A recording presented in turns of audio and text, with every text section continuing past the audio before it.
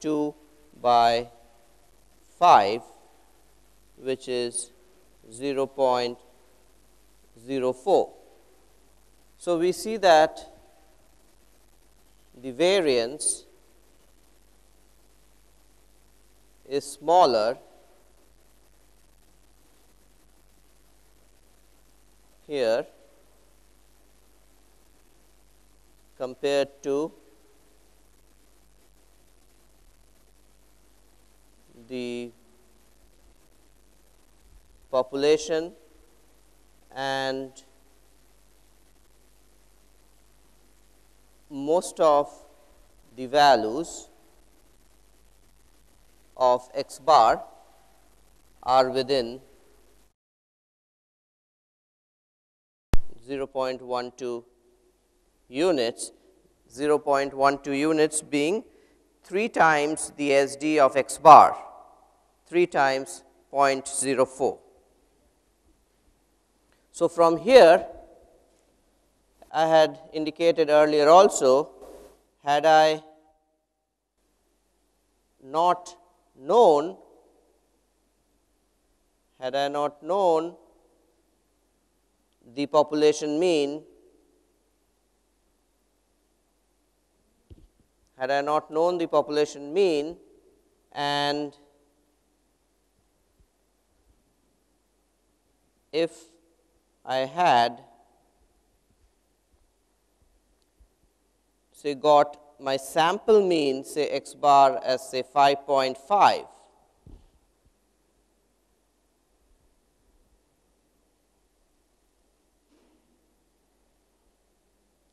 In this case,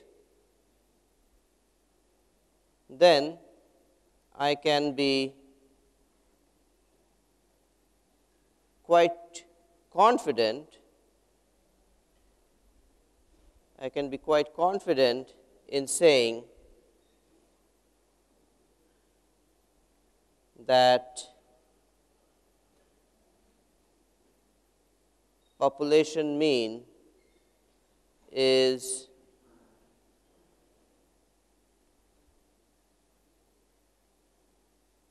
within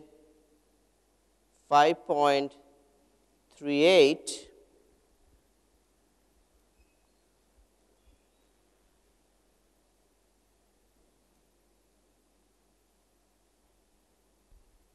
and 5.62. So, what we have done here? You will observe that this is the sampling distribution of x bar and I know that most of the values of x bar must lie in and around 5.4 which is the population mean. And when I say most of the values, I mean suppose say around 99 percent of the values must lie in and around 5.4 and what are those two values which I need to figure out which I can say are the two values in and around which the population mean would lie with certain confidence. So, these two values are this 5.38 and 5.62. These are the two values within which the value of 5.4 is quite likely to occur and how much likely is it? And the answer to that is it's likely to the extent of 99 percent, because this is 5.62 and this is 5.38 and we know that this area within these two limits is 0.9 997. So, therefore, if I get a value of x bar to be 5.5, then I can be quite confident in saying that the population mean is within 3 SD is within 3 SD of this value of 5.5. So, to 5.5 I have added 0.12 to get 5.62 and I had subtracted 0.12 to get 5.38. 38 and so therefore, the value of the population mean is expected to lie between these two values and I am confident that is going to be captured 99.7 percent of the time. So, this brings us formally to these confidence intervals. So, an alternative to reporting a single value which is the case for a point estimate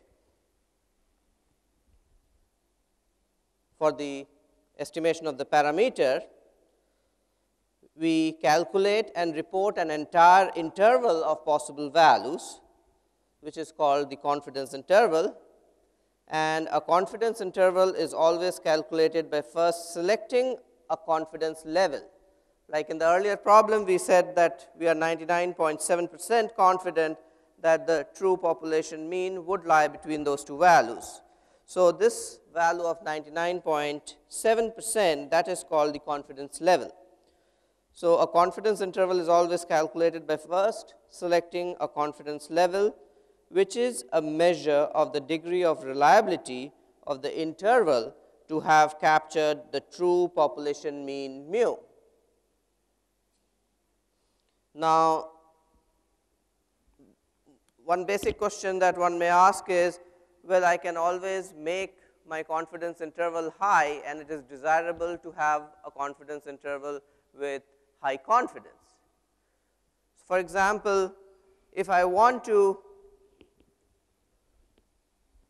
have the confidence interval of the mean height of this class, right. So, I want to find out the mean height of this class. So, for that I take a sample of size say 5. So, I pick up 5 individuals, measure their heights, find the sample mean based on 5 observations. Now, from here I can always find a confidence interval with any degree of confidence. Suppose I want the confidence interval with 99.99999 level of confidence. Well, if you ask if you demand such a confidence level, well my interval is going to be between 4 feet and 6 feet.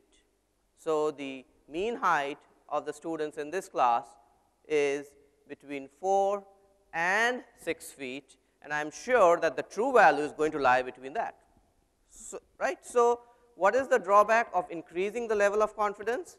It is that your confidence interval becomes very wide and that does not that, that is not that much of information. However, if you say I need a confidence interval with confidence 90 percent confidence that should carry the true population mean. In that case, I can give you confidence interval of the type that the mean height of this class is between 5 feet 2 inches and 5 feet 6 inches. So, that would be concentrating more, but my error in making this statement would be of the order of say 5 percent if I am giving this as a 95 percent confidence interval. So, there is a trade off in the sense that if you want to increase the level of confidence, your width of the confidence interval is going to increase.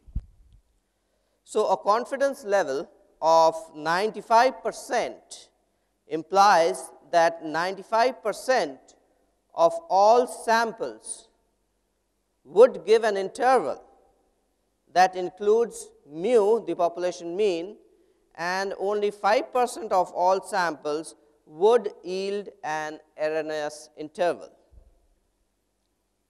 Let us take an example. Consider a random sample say x 1, x 2, so on x n from a population with mean mu and variance sigma square. Then for population normal, so for the case when the population from where we are drawing the sample, if it is normal, then x bar would follow a normal distribution with mean mu and variance sigma squared by n. The other option is that we do not indicate whether the population is normal, but we indicate that the sample size is large. So, n large in this case my x bar is approximately normal with mean mu and variance sigma square by n and the second case follows from the central limit theorem. So, in either of these two cases we can have that we have that x bar minus mu by sigma by root n. This follows what distribution in either of these cases exactly or approximately what does it follow? It follows the standard normal distribution with mean 0 and variance 1. So, from here if I draw the picture of the standard normal curve, I know that if this area, the central area is 0.95, what are the two values within which this area is 0.95?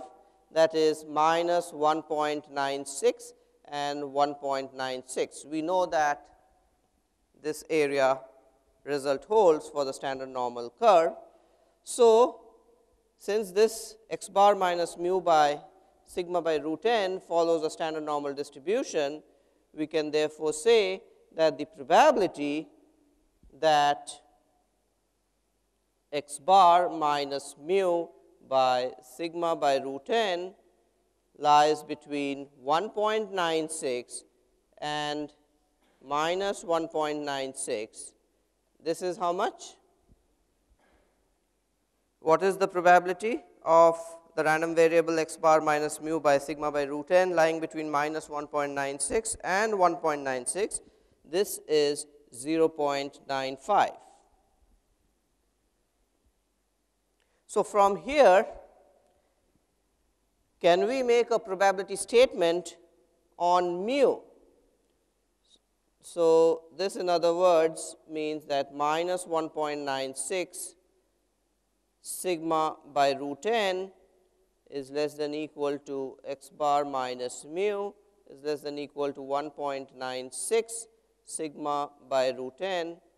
This is equal to 0.95 or finally, we can write x bar minus 1.96 sigma by root n is less than equal to mu is less than equal to x bar plus 1.96 sigma by root n is equal to 0.95.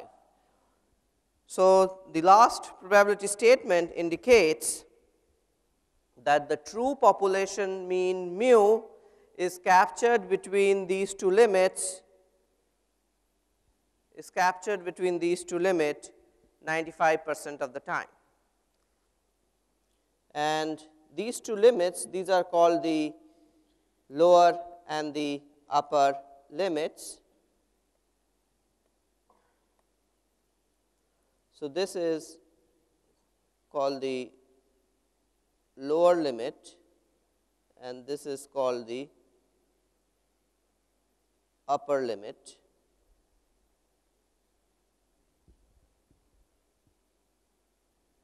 So, we can finally say that with a probability of 0.95, the selected sample will be such that the value of mu is captured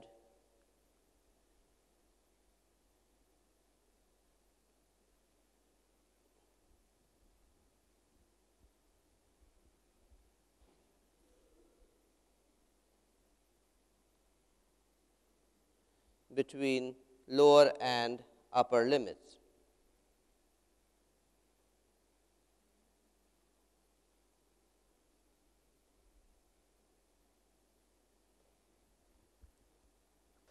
So, from here we can see that we have literally derived the confidence interval which constitute these two sample values the lower and the upper limit and in this case we have written the 95 percent confidence interval. So, 95 percent confidence interval for mu when sigma the population S d is known in this case, if after observing x 1, x 2, x n, we compute the observed sample mean x bar, then a 95 percent confidence interval for the population mean mu can be expressed as x bar minus 1.96 sigma by root n and x bar plus 1.96 sigma by root n. These gives the lower and the upper limits of the confidence interval. Now, where in this confidence interval has this value of 95 percent been used. Where is this 95 percent? Can anybody guess? Where has this 95 percent fact used? The fact that it is a 95 percent confidence interval, how has it been used? That has been used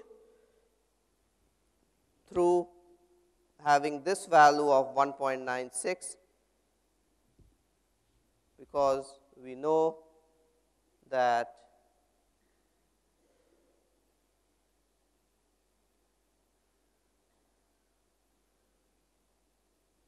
the central area of a standard normal curve within minus 1.96 and plus 1.96 is 0.95.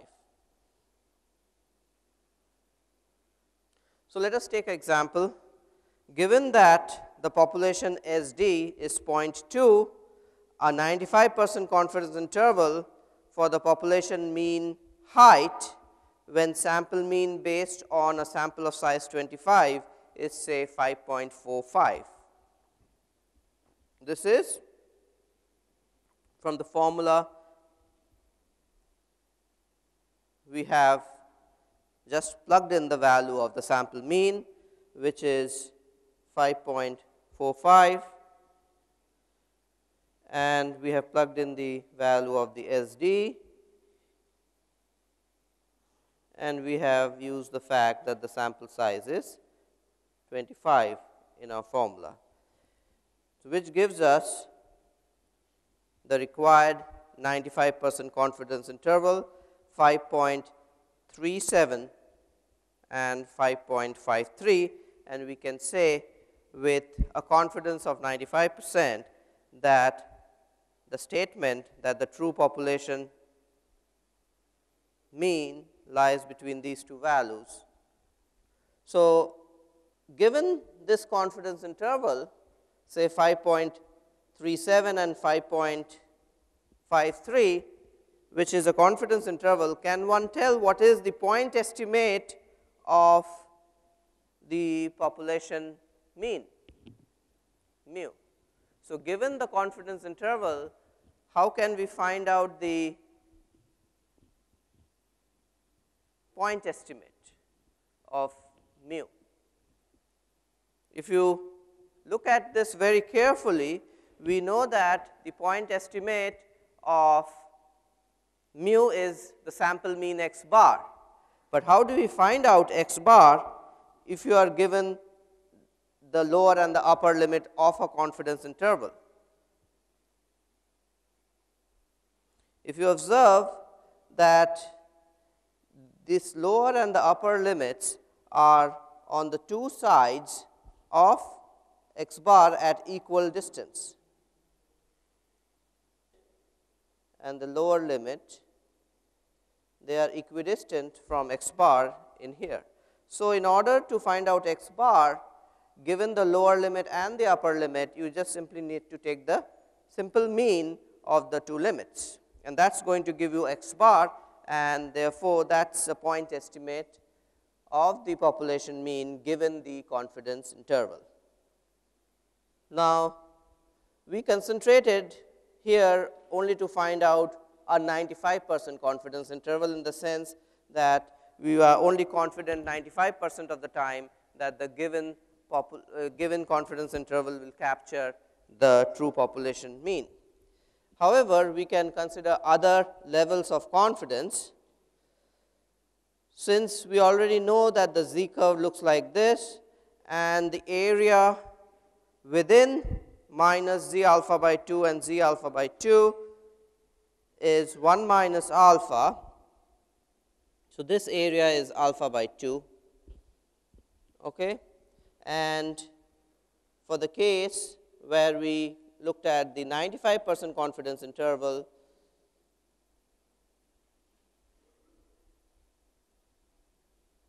this area was 0.95 and so these two areas they constituted the remaining in two halves uh, 0.025 and this is also 0.025. So, that the total area is 1.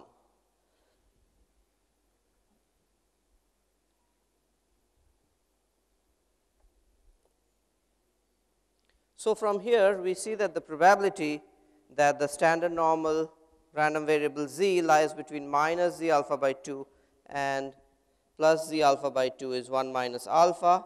And this allows us to work out the 100 into 1 minus alpha percent confidence interval for the mean mu for a normal population when the value of alpha is known is given by x bar minus z alpha by 2 times sigma by root n and x bar plus z alpha by 2 sigma by root n. So, basically the value of z alpha by 2 can be worked out given the value of alpha.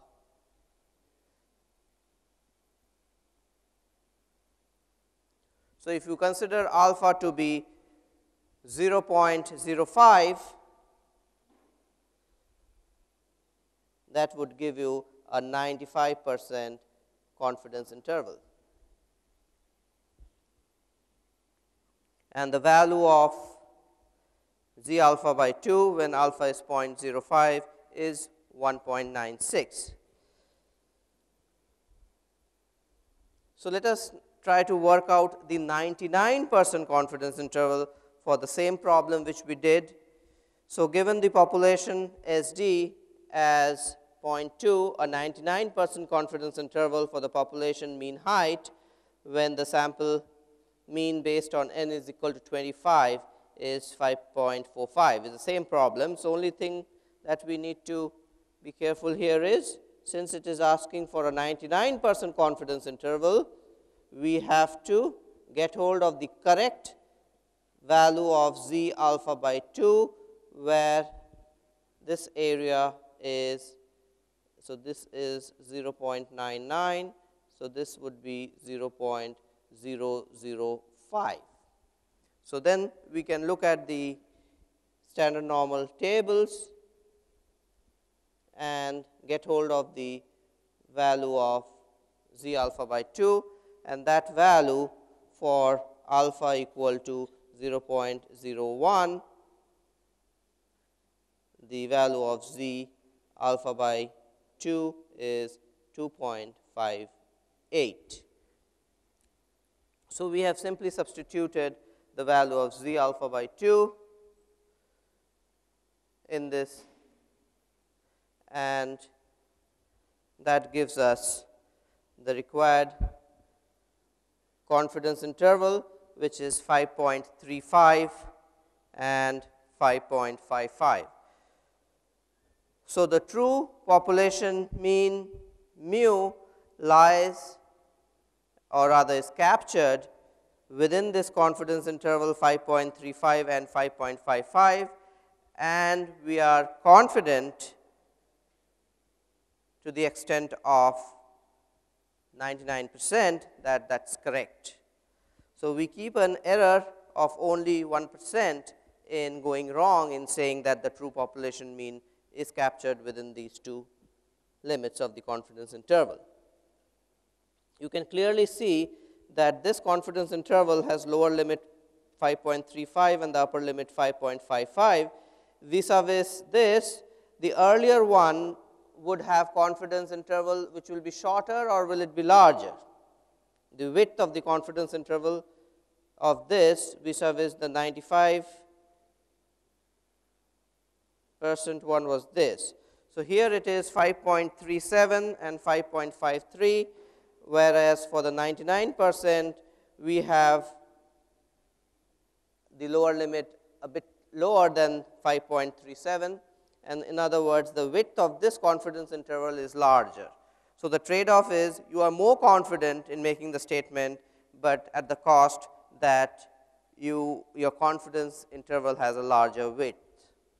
So, this brings us finding out what should be the desired sample size in order to achieve a desired level of confidence and desired width of the confidence interval. So, suppose I am looking at the 1 minus 100 into 1 minus alpha percent confidence interval and we know that that is x bar minus z alpha by 2 sigma by root n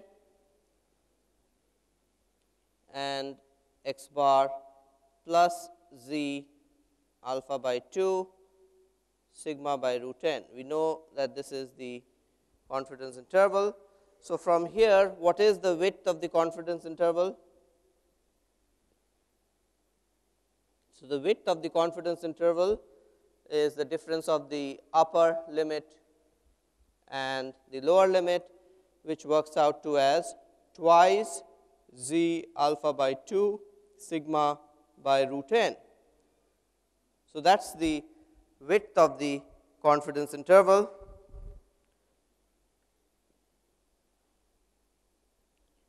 Similarly, we have the term called the margin of error and the margin of error is nothing but half of the width.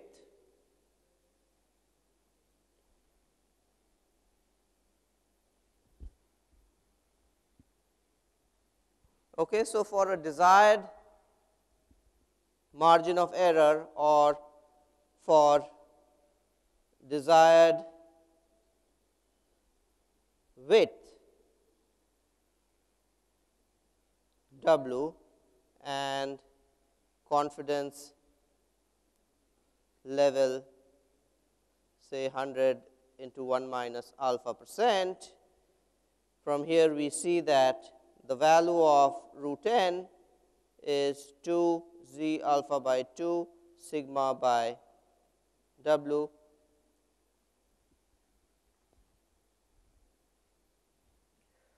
So, in other words for the desired width and the desired confidence level, we can indicate what should be the sample size in order to satisfy that requirement and that sample size is provided here through root n equal to 2 z alpha by 2 sigma by w, where w is the width of the confidence interval.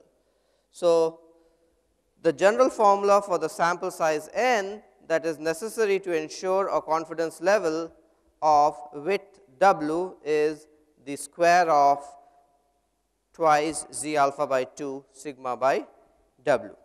So, you can always work out the required sample size.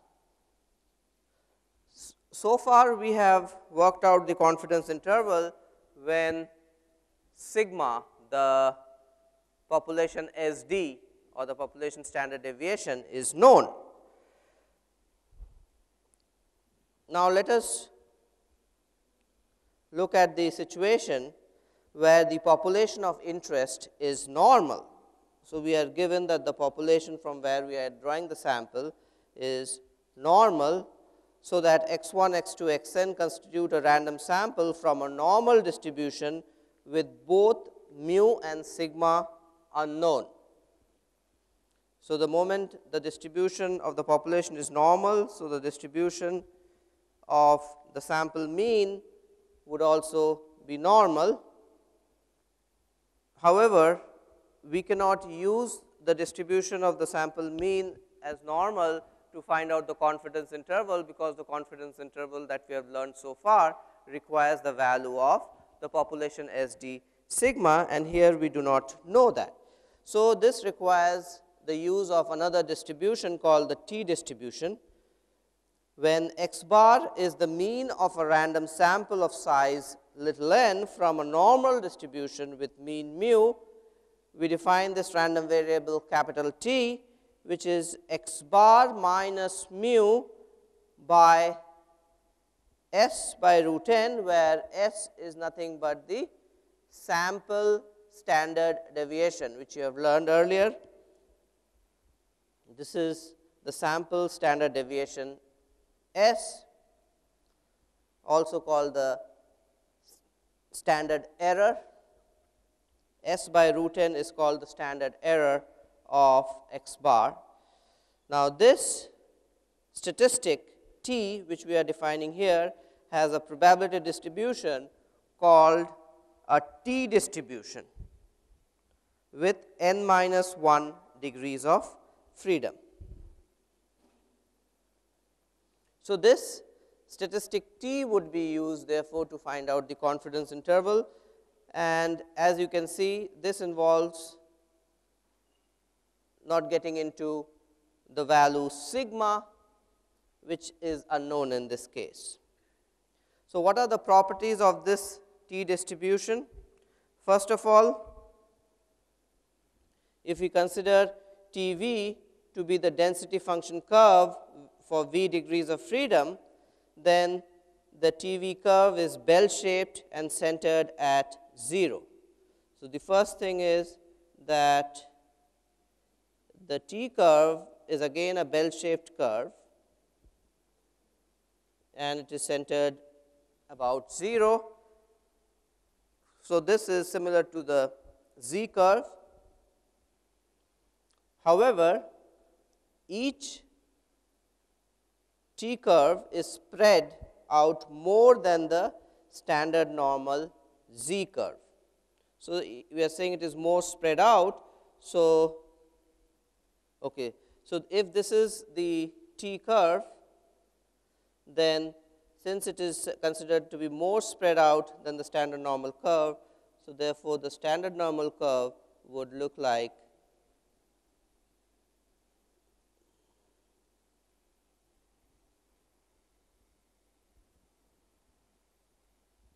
So, it was the standard normal curve vis-a-vis the t curve is more concentrated in and around 0. As the degrees of freedom v increases, the spread of the corresponding t curve decreases. In other words, it slowly moves towards the shape of the normal curve, the spread goes on decreasing for the t curve.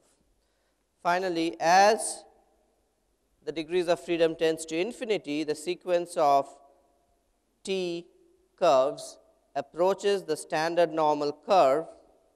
In other words, the z curve is called a t curve with degrees of freedom infinity. Okay. So, for large degrees of freedom, the t is nothing but the z. Again, the t critical values as we had discussed the critical values for the normal, the chi square. So, for t the critical value is represented as t alpha nu alpha v the which is the number on the measurement axis for which the area under the t curve with v degrees of freedom to the right of this t critical value is alpha. So, let us draw this picture to see what is this T alpha V. So, that is nothing but this value on the measurement axis such that the area on the right of this T critical value is alpha. Now, these values, these T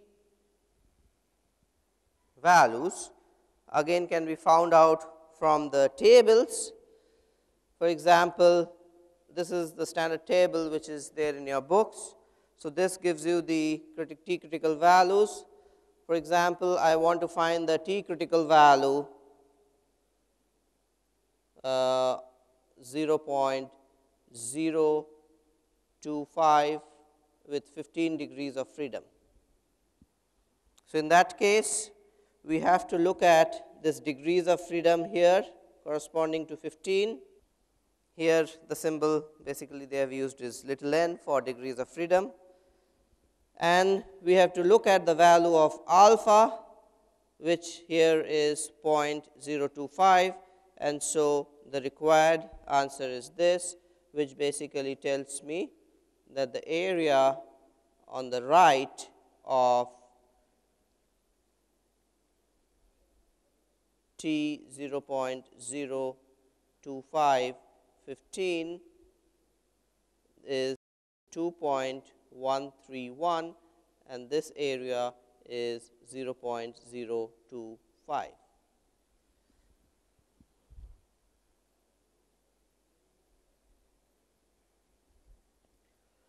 So, we have these t critical values from this table which you can work out for various values of alpha.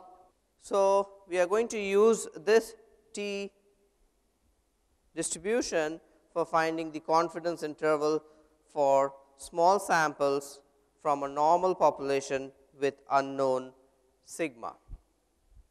So, let x bar and s be the sample mean and standard deviation computed from the results of a random sample from a normal population with mean mu. The 100 into 1 minus alpha percent confidence interval is then given as x bar minus the t critical value corresponding to alpha by 2 with n minus 1 degrees of freedom times s by root n and the corresponding upper limit where we replace the minus by the plus sign. So, the derivation of this confidence interval can be worked out exactly in the same way as we did for the case where we use the normal distribution. So, here we know that x bar minus mu by s by root n follows a t distribution and if I work out the probability as 1 minus alpha, we can work out this confidence interval. So, let us consider this example. Consider a population with mean mu, a random sample of size 16 is drawn from the population.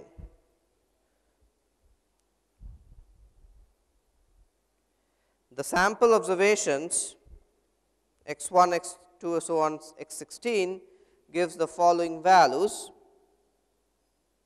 So, we are given summation xi, i varying from 1 through 16 and summation x i square and from here we can work out the sample mean and the sample standard deviation. And for 15 degrees of freedom, since we had n equal to 16 here.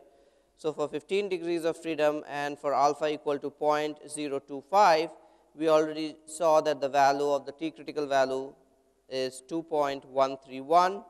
So, this allows us to work out the 95 percent confidence interval for the population mean mu as this. So, what we have done here is we have used the t critical value instead of the z critical value. Okay. One important thing which is missing here which should be questioned is when you say that consider a population with mean mu, it is important in order to use this confidence interval, we have to specify that the population is normal. Okay? If the population is normal, then when sigma is not known, this result follows from the t distribution. However, when we have large sample, then we may not require explicitly indicating that the population from where we are drawing the sample is normal, even though we do not know the population SD sigma. So, large sample confidence intervals for a population mean when sigma is not known. Here, if the sample is large, if n is sufficiently large, the standardized variable z which is x bar minus mu by s by root n has approximately a standard normal distribution and this implies that x bar plus minus z alpha by 2 s by root n is a, is a large sample confidence interval for mu with level of confidence 100 into 1 minus alpha percent. So, here again when we say n is sufficiently large, we would stick to the thumb rule of n being greater than equal to 30. So, we can use this large sample confidence interval when sigma is not known by replacing sigma by the sample standard deviation and then use the result of the standard normal curve. So, let us consider this example. Consider the population of weights for ninth grade students in KVIIT. A random sample of size 48 is drawn from the population with mean mu. The sample observations x 1, x 2, so on x 48 gives the following values. We have x bar and summation x i square, summation x i square and from here we work out the x bar and the sample s d and then the 95 percent confidence interval for the population mean mu is then given as using the formula the formula which we have for the confidence interval for the normal case the first case and for n large only thing is here we do not know what is sigma. We have replaced instead of sigma we are using the sample standard deviation to get the 95 percent confidence interval. Similarly, the large sample confidence bounds for mu, the 100 into 1 minus alpha percent upper confidence bound is given as this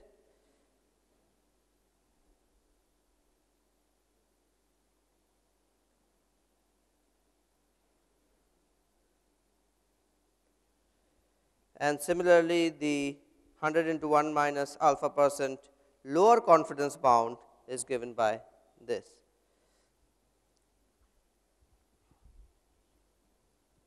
So, in other words, we make statements that mu would not exceed a certain value with certain the with level of confidence as 100 into 1 minus alpha percent. This is given through the upper confidence bound and similarly for the lower confidence bound. Now, let us look at the confidence intervals for variance and the standard deviation of a normal population. So, if x 1, x 2, x n be a random sample from a distribution with mean mu and variance sigma square, then the sample variance s square is this quantity and this s square, this statistic has an expected value of sigma square. In other words, the expected value of x square is sigma square and furthermore, the statistic n minus 1 s square by sigma square, this follows a chi-square distribution with n minus 1 degrees of freedom provided xi's are IID normal. So, if my random sample is from a normal population, then n minus 1 s square by sigma square follows a chi-square distribution with n minus 1 degrees of freedom. In other words, the random sample x 1, x 2, x n from a normal distribution with mean mu and variance sigma square, the random variable n minus 1 s square by sigma square which is nothing but summation x i minus x bar whole square by sigma square has a chi square probability distribution with n minus 1 degrees of freedom. Further, we have the following result on independence. If x 1, x 2, x n be a random sample from a normal distribution with mean mu and variance sigma square, then it can be shown that the sample mean x bar and the sample variance s square are independent random variables. So, that is an important result which indicates the independence of these two statistics x bar and s square. We already know that x bar follows a normal distribution and from the result just now indicated n minus 1 s square by sigma square follows a chi square distribution with n minus 1 degrees of freedom. So, the more important thing here is that the sample mean x bar and the sample variance s square are independent when x 1, x 2, x n are, are IID normals. We had already discussed the chi square critical value which is chi square alpha v and that is nothing but the value on the measurement axis says that the area on the right of this chi square critical value is alpha and we need this piece of information to actually work out the confidence interval for the population variance sigma square. So, since we know that n minus 1 times s square by sigma square follows chi square with n minus 1 degrees of freedom, we can make a statement that the probability that n minus 1 s square by sigma square is less than equal to chi square alpha by 2 v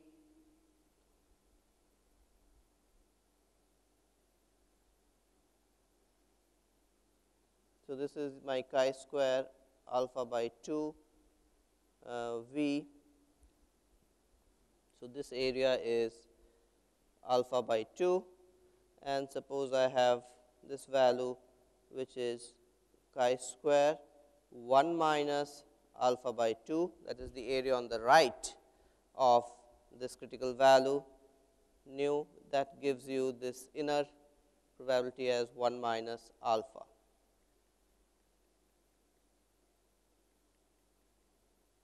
and this area is alpha by 2. So, therefore, we have that that the statistic lies between chi square 1 minus alpha by 2 v and chi square alpha by 2 v and this probability works out to as 1 minus alpha. So, from here by rearranging we have n minus 1 s square by chi square alpha by 2 v is less than equal to sigma square is less than equal to n minus 1 s square by chi square 1 minus alpha by 2 v this probability is 1 minus alpha. And clearly from here this leads to the 100 into 1 minus alpha percent confidence interval for sigma square. The this is your lower limit and this is your upper limit. So, to summarize we have that 100 into 1 minus alpha percent confidence interval for the variance sigma square of a normal population has lower limits n minus 1 s square by chi square alpha by 2 n minus 1 and the upper limit n minus 1 s square chi square 1 minus alpha by 2 n minus 1.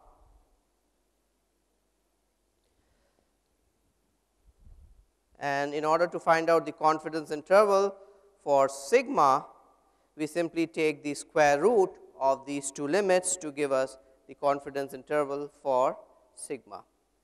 So, before we end today, I would like to, uh, we already saw this problem, most of you who did not come later, this was a problem of trying to pick up which of these three curve is most suitable to indicate the sampling distribution of the sample mean based on sample sizes 50, 75 and 100. So, which one of these three represents the sampling distribution curve for sample of size 50 and we are given that these three curves are corresponding to 50, 75 and 100. So, the answer to this is the one which has got the largest spread which is B because the spread decreases as the sample size increases. So, the other two will correspond to 75 and 100. So, which one will corresponds to 100 A, B or C? The C one. Okay. Let us look at this problem. So, a psychologist wishes to estimate the mean IQ of students of one college. He picks a random sample of 49 students from the college, measures each student's IQ and obtains the following 95 percent confidence interval for the population mean. The confidence interval is 115 and 125. So, that is the confidence interval. The lower limit is 115 and the upper limit is 125. The first question is find the margin of error. So, what is the margin of error here? That is half the width of the confidence interval, which in this case is 5.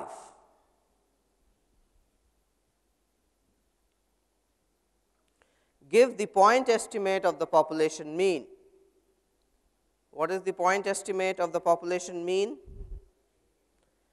That is going to be 120 which is nothing but the mean of these two values 115 and 125 right.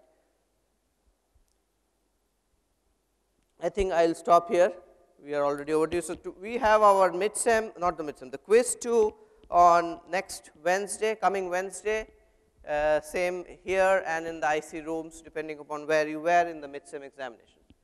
So, you be there the exam starts sharp at 8.30. Any other questions that you may have for me? Okay.